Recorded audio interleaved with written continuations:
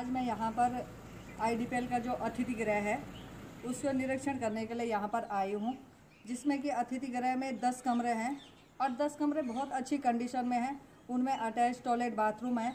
से पंद्रह दिन तक क्वारंटीन कर सकते हैं।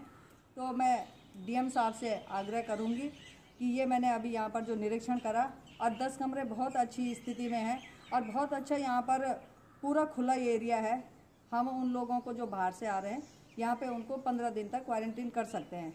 तो डीएम साहब से मेरा पुनः आग्रह रहेगा कि वो एसडीएम साहब को निर्देशित करें कि आईडीपीएल का जो अतिथि गृह है, उसको अधिग्रहण करें और बाहर से आने वालों को यहाँ पर आराम से क्वारंटीन कर सकते हैं। बगल में ही आईडीपीएल की पुलिस चौकी है, जहाँ पे कि लगातार तीन टाइम का भोजन बनता है। वहाँ से उन लोगों के लिए भोजन वितरण करने में भी सहूलियत रहेगी। तो ये बहुत ही अच्छी जगह यहाँ पर है। मैं पुनः यही कहूँगी कि इसको शीघ्र से अतिशीघ्र क्वारंटीन सेंटर के लिए अधिकरण किया जाए।